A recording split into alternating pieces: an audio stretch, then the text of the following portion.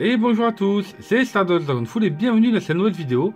Et aujourd'hui donc je vais vous faire le review et test de cette superbe toupie sortie en édition limitée sous Metal Fight Beyblade, qui n'est autre que la Burn Pisces ED145 donc WF. Là voilà. Donc on peut voir dans les coloris, je trouve, dans l'harmonie de tout ça, c'est plutôt sympa. Même si le combo est un peu particulier, moi je trouve que cette toupie est juste sublime. Donc on va regarder un petit peu plus dans les détails. Donc regardez-moi ça. Cette 16 un petit peu translucide qui est juste excellente. On va retrouver ce boulon qui est bien particulier, donc on regardera ça tout à l'heure. On a la roue de fusion Burn Wheel, donc voilà. Il n'y a que Takaratomi qui la mettait comme ceci. On va donc retrouver l'axe de rotation ED145. Et enfin, la pointe de performance qui est bien typée attaque WF. Voilà, pointe assez large, plate. Donc on va regarder tout ça ensemble. Donc euh, d'abord dans le détail et après on va faire un petit test dans l'arène.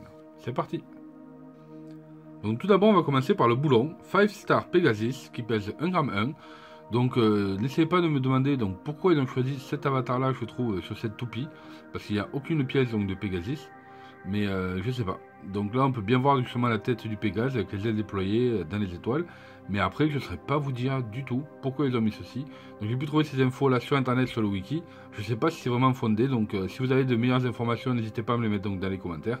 Et on en discutera ensemble. Ensuite, on va retrouver donc l'anneau d'énergie Pisces qui pèse 2,65 g. Et personnellement, je le trouve magnifique. Donc déjà, il a un blanc translucide, je trouve qui est vraiment sympa. Donc ça lui donne euh, une couleur qui est juste magnifique. Il y a des stickers, mais il n'y en a pas trop. Donc euh, je trouve que ça va très très bien. Il y a une bonne harmonie. Comme vous pouvez voir dans le temps, les stickers n'ont pas trop bougé, donc c'est plutôt sympa. Et moi, personnellement, je jouais cette pièce plutôt en endurance.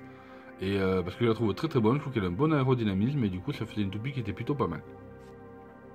Ensuite, on va retrouver donc la roue de fusion Burn qui pèse 31,85 g.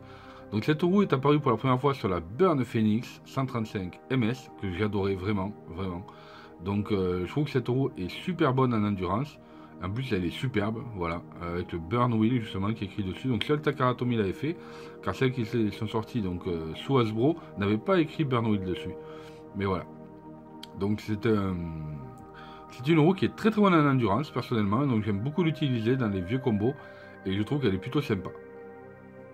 Ensuite, on va retrouver donc l'axe de rotation ED145 pour Eternal Defense 145 qui pèse 3,64 g donc c'est un combo qui lui est sorti, une pièce pardon qui était sortie sur euh, Rock Donc euh, on a donc un axe de rotation avec une roue libre ici, de ce côté-là.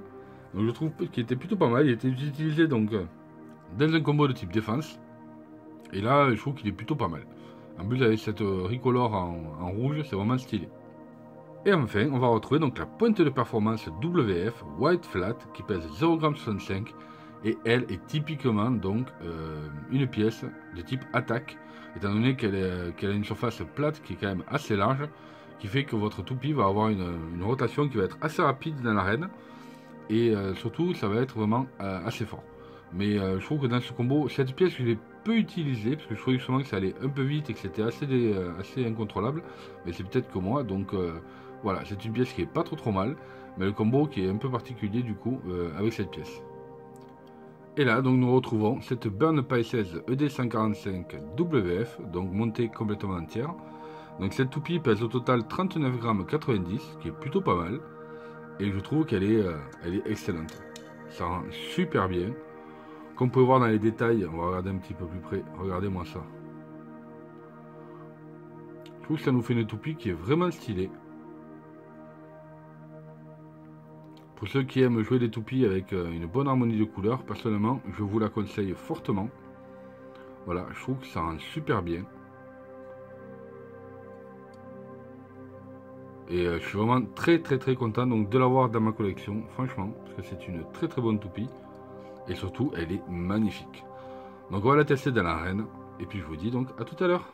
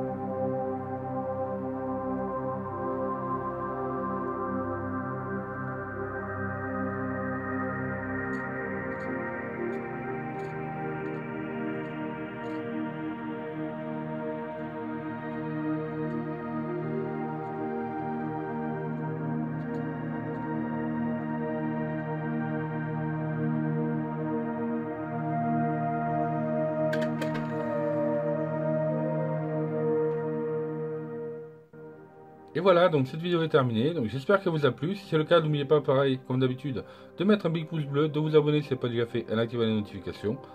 Personnellement, moi j'ai adoré vous la présenter. Si vous voulez voir l'unboxing carrément que j'ai fait il y a maintenant 8 ans, je vous invite à cliquer en haut à droite donc sur la fiche. Sinon, ben, attendez la fin de la vidéo et vous aurez directement le lien pour aller la, pour aller la voir. Et puis je vous dis à très bientôt pour de futures vidéos de présentation de ma collection et de mes topics préférés. Et je vous dis à très bientôt. Salut à tous.